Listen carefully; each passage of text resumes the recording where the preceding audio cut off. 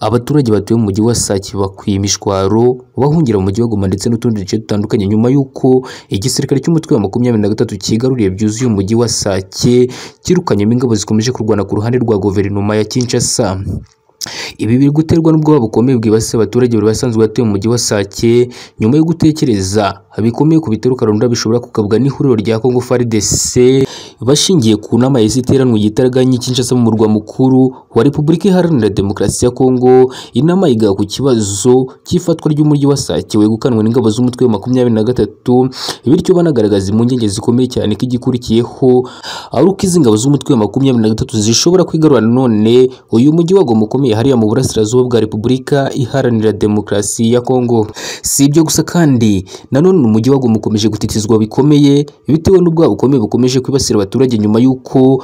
hakomeje kuraswamo ibibombe bigaragaza neza ko isaha n'isaha uyu mujyi ushobora kwibasirwa n'ibitero karundura bishobora kuba hagati y'ingabo z'umutwe wa makumyabiri na gatatu ndetse n'igisirikare cya Repubulika Iharanira Demokarasi ya Congo. Ibi n'ibindi byinshi tugiye kubibagezaho ku buryo burambuye ngaho twongeye kubatumira inshuti z'akadosohoka muze mukande ku ijambo subscribe mukande no kunzogera ubundi twicare hamwe turebere hamwe ibikomeje kubera ku butaka bwa Repubulika Iharanira Demokarasi ya Congo tubahaye ikaze. Mu masaha y'icumi ashize ingabo z'umutwe wa makumyabiri na gatatu zigaruriye umujyi wa Sake. Abaturage basanzwe batuye muri uyu mujyi bakomeje guhunga bahungira mu mujyi wa Goma ndetse n'ibindi bice bigiye bitandukanye bitafashwe n'ingabo z'umutwe wa makumyabiri na gatatu nyuma yo gushya ubwoba bikomeye batekereza ku cyiza gukurikira nyuma y'uko izi ngabo z'umutwe wa makumyabiri na gatatu zirukanye ingabo zikomeje kurwana ku ruhande rwa leta hariya mu mujyi wa Sake. Aya ni amakuru akomeza avuga ko n'ingabo zikomeje kurwana ku ruhande rwa Repubulika Iharanira Demokarasi ya Congo zahungiye kureba ibitero bagabweho n'ingabo z'umutwe wa makumyabiri na gatatu bakava muri uyu mujyi wa Sake bakerekeza mu bice bigiye bitandukanye. Gusa nyuma yaho guverinoma ya Kinshasa igizwe n'abategetsi bakomeye bateraniye Kinshasa abategeka bakuru barongoye izi ngabo hariya mu burasirazuba bwa Repubulika Iharanira Demokarasi ya Congo kongera gusubira mu mirwano igitaraganya bakamburura mu mujyi wa Sake ingabo z'umutwe wa makumyabiri na gatatu mu rwego rwo kugira ubwoba ko izi ngabo z'umutwe makumyabiri na gatatu zishobora gukomeza nabwo zigafata uyu mujyi wa Goma. Gusa amwe mu makuru yatangajwe n'umuvugizi w'igisirikare cya makumyabiri na gatatu Lawrence Kanyuka abinyujije ku rukuta rwa X yavuze ko intare za Sarambwe zizwi ku izina rya makumyabiri na gatatu zidafite intumbero yo gufata umujyi wa Goma dore ko adahwema kugaragaza ko baramutse babishatse barara bafashe uyu mujyi wa Goma. Uyu muvugizi yakomeje agaragaza ko ingabo z'umutwe wa makumyabiri na gatatu zishyize imbere inzira y'ibiganiro hagati n'ubutegetsi bwa leta ya Kinshasa mu rwego rwo gushaka amahoro arambye mu burasirazuba bwa Repubulika Iharanira Demokarasi ya Congo. Si ibyo gusa kandi yanasabye amahanga ndetse n'umuryango w'abibumbye kugira uruhare rukomeye kugira ngo habeho inzira y'ibiganiro hagati y'uyu mutwe wa makumyabiri na gatatu ndetse n'ubutegetsi bwa Kinshasa buyobowe na Perezida Felix Antoine Tshisekedi. Si ibyo gusa kandi ni byo byinshi mu bitangazamakuru bikorera ku butaka bwa Repubulika Iharanira Demokarasi ya Kongo bikomeje kwamaganira kure ibikorwa bibi bikomeje gukorwa na leta ya Kinshasa byo guhohotera abaturage bakomeje guhitanwa n'ibitero simusiga bikomeje kugabwa n'ingabo zikomeje kurwana ku ruhande rw'igisirikare cya Repubulika Iharanira Demokarasi ya Kongo.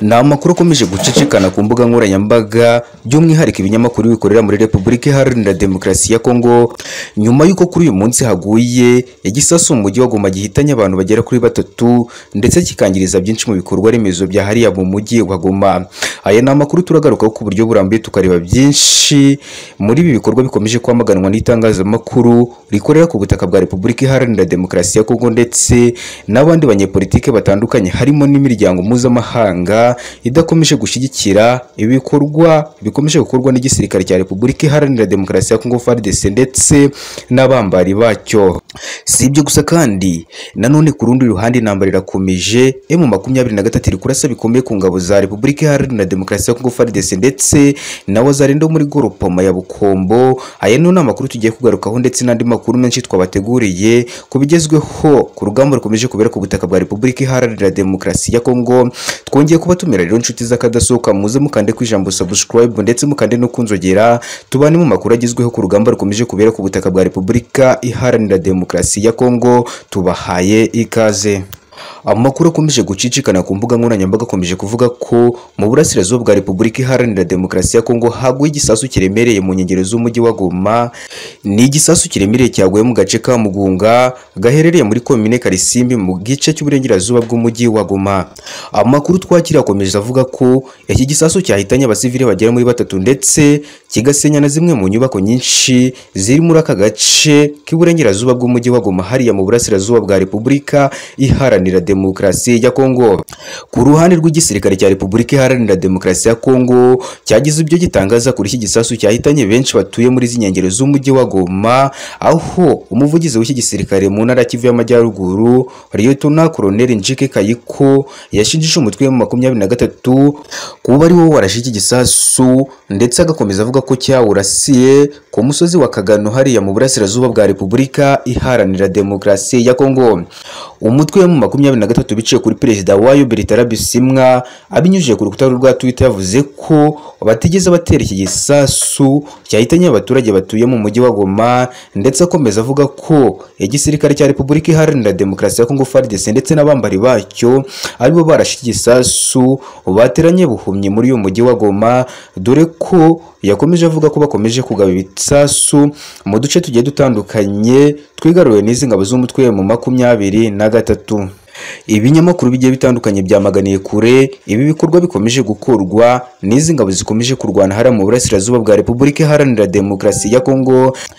ndetse ibi byakurikiwe n'ubutumwa bukomeye bwoherejwe n'ubwami bw'ubwongereza aho bwasabye izi mpande zombi zihanganye mu burasirazuba bwa Repubulika Iharanira Demokarasi ya Kongo guhagarika imirwano hagati yabyo ndetse n'ibi bitero bikomeje kwibasira abasivile batuye muri utu duce tugenzurwa n'izi ngabo z'umutwe wa makumyabiri na gatatu aho ubutumwa bwagarutse ku bitero biremereye byibasiye umujyi wa Mweso ibitero byahise bitanye abaturage cumi n'icyenda ndetse abandi bagera kuri makumyabiri bagakomereka. Nanone kandi imirwano irakomeje mu burasirazuba bwa Repubulika Iharanira Demokarasi ya Kongo M23 ikomeje kurasa bikomeye ingabo za FARDC ndetse n'ingabo wa Zarendo muri grupoma ya Bukombo hariya mu burasirazuba bwa Repubulika Iharanira Demokarasi ya Kongo iyi mirwano ikomeye yaburamukiye muri Kivu y'Amajyaruguru cyane cyane Rucuro ihanganishije ingabo za FARDC na Wazalendo mu rugamba bahanganyemo n'ingabo z'umutwe makumyabiri na gatatu mu midugudu myinshi yo muri grupoma ya Bukombo.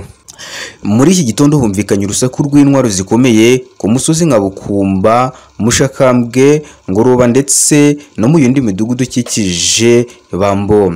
ibisasu byaguye Mweso Gicaga ndetse na Rucuro muri aka karere bivuga ko ibintu bikomeje kurushaho kuba nabi ariko n'amakuru aturuka muri aka gace avuga ko imirwano yatangiye mu gitondo cya kare. I Mushaki Karuba ndetse na Rushoga ndetse no kuri uyu mugoroba imirwano igikomeye hagati y'impande zombi. Iyi ni imirwano ikomeje gufata intera mu burasirazuba bwa Repubulika Iharanira Demokarasi ya Kongo ariko ikomeje guhitana benshi mu baturage b'abanyekongo batuye muri utu duce tugenzurwa n'igisirikare cy'umutwe wa M23 si ibyo gusa kandi